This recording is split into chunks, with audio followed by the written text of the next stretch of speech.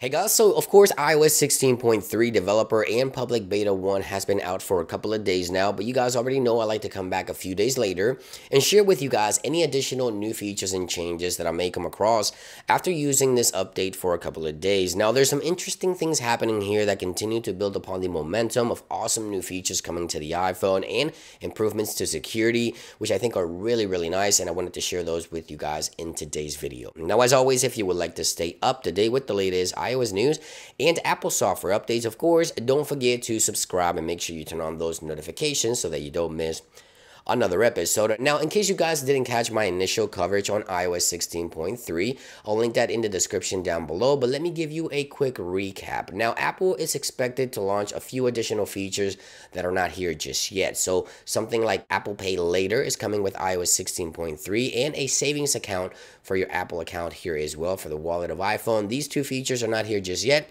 but we're looking to see these features with iOS 16.3. Now, another feature expected is custom accessibility mode. Now, this feature, of course, was also expected to be launching with iOS 16.2, but it did not. So hopefully we see this with iOS 16.3. It makes a ton of sense.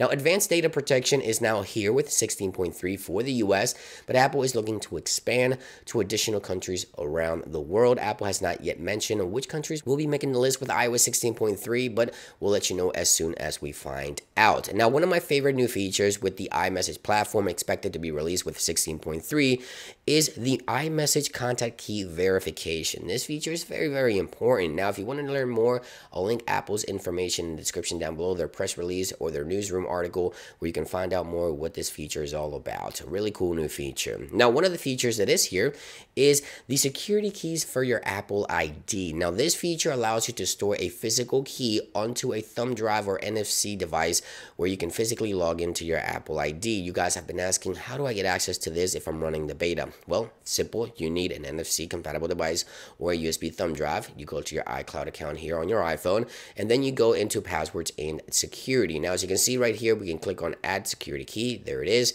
And there's the option strong account security and replacing verification codes. Again, these are going to be physical codes that you can store in order to log into your Apple ID, but keep in mind, you want to make sure you keep these safe in a spot where you can remember because if you do lose these, you won't be able to log into your Apple ID and Apple will not be able to help you log into your Apple ID. So keep in mind this feature as it is important, it is so private that if you lose those keys, you can't get access to your account. So yeah, an awesome feature, of course, that I know many government agencies will probably end up using, but maybe not the typical user will end up on this one. But yeah, major, major improvements to security with iOS 16.3. Now I want to go ahead and shift my attention to things I've noticed after using the software for a couple of days. Number one, a new splash screen for Apple Music. There it is. So this is pretty much something that explains everything for Apple Sing, which is one of the new features on 16.2. Now, I never got this splash screen for Apple Music on 16.2, but I did get it with 16.3. Let me know in those comments down below. Have you ever seen this one right here? A quick description on a splash screen for Apple Sing. Now, another awesome new feature that I think Apple should do more of is this one right here. You see this animation transferring music to HomePod. Of course, this feature is not new. However, it looks like not many users know about it. So Apple went ahead and created an entire animation on how to transfer music from your iPhone over to your HomePod. Of course, this is a screen recording, but the feature is under settings.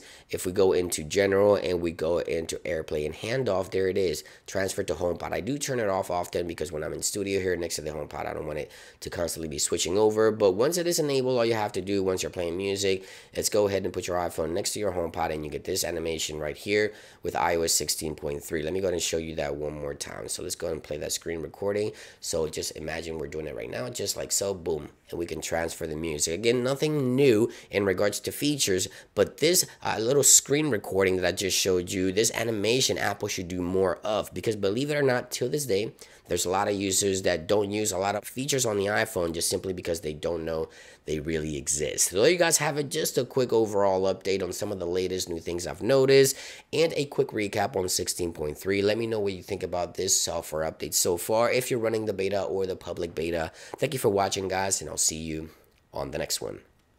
Peace.